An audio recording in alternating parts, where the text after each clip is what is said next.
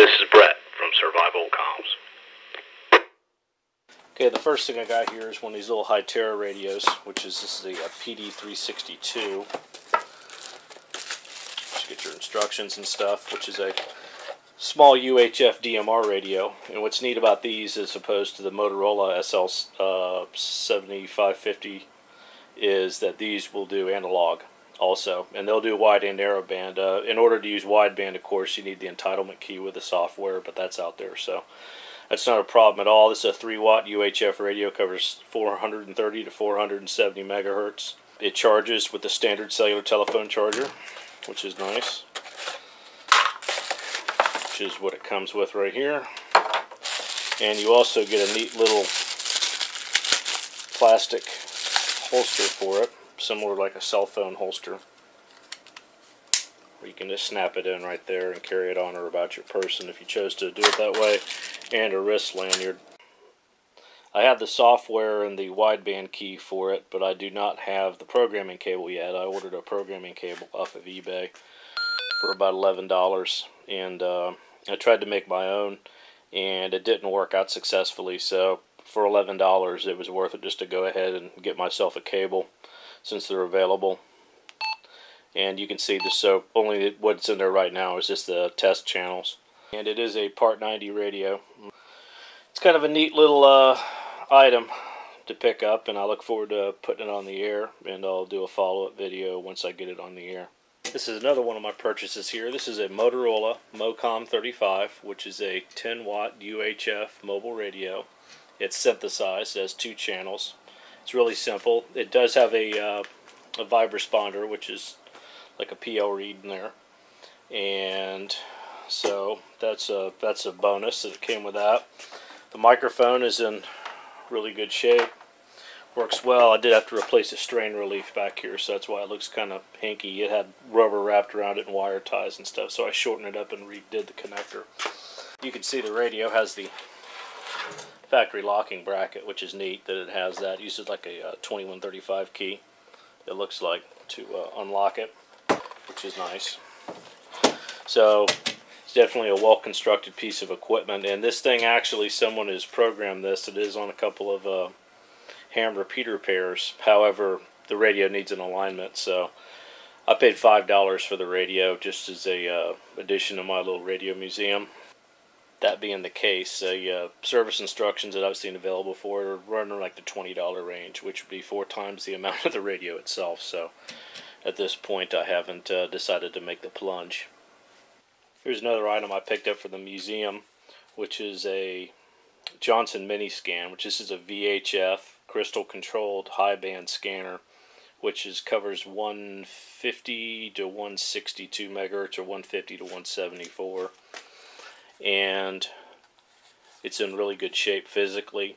Uh, it would not power up when I got it, so I made repairs and managed to get it to power up.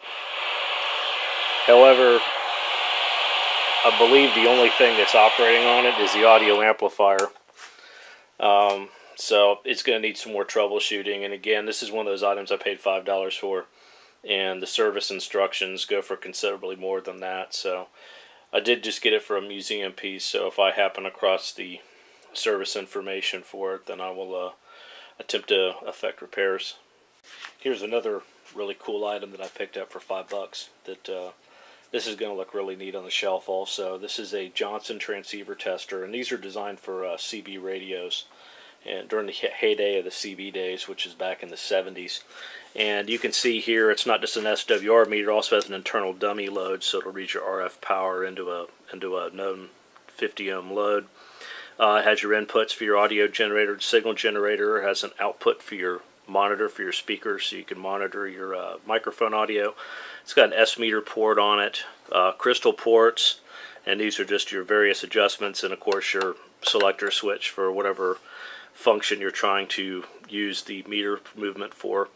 So this is in really great shape and uh, I was very happy to pick this up. It was just one of those items I uh, couldn't turn down.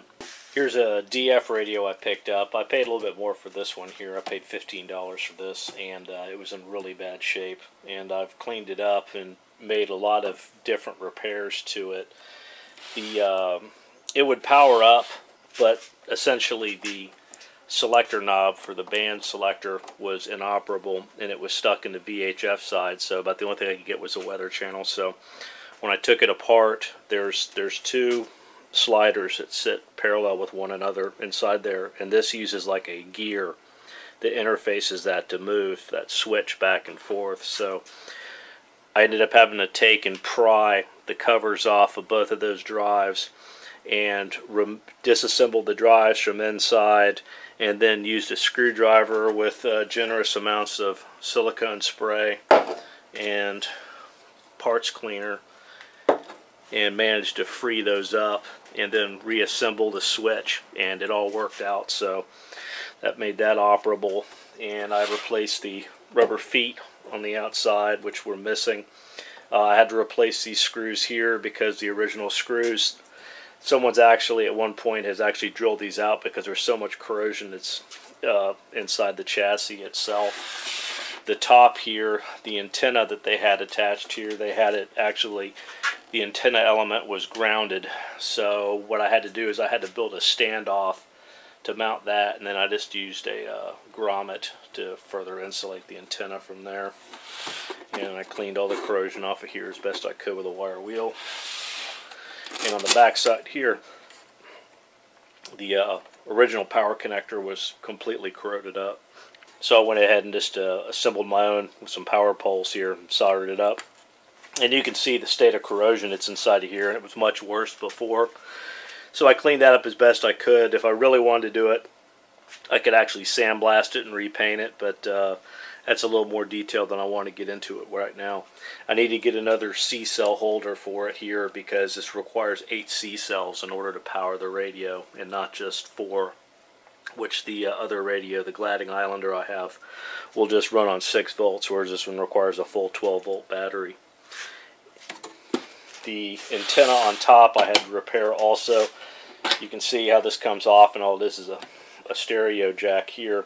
So I had to replace a stereo jack on the uh, uh, degree wheel, and there was so much corrosion that was underneath that. It was that that just nasty white corrosion that happens with dissimilar metals with aluminum to where it was just piled on there and I ended up cleaning most of that up so returned that to serviceability and it works really good power up here because it's a serious mismatch of gifts and responsibilities. I can remember when I was working in a church over 30 years ago, there was a fellow. You could see it's got a and their situation good knoll on it. becoming desperate financially. And I had a friend who had a dealership next door to the church, and I went to him and I said, "Is there anything you can do to help this fellow? Give him a job." cinco piezas de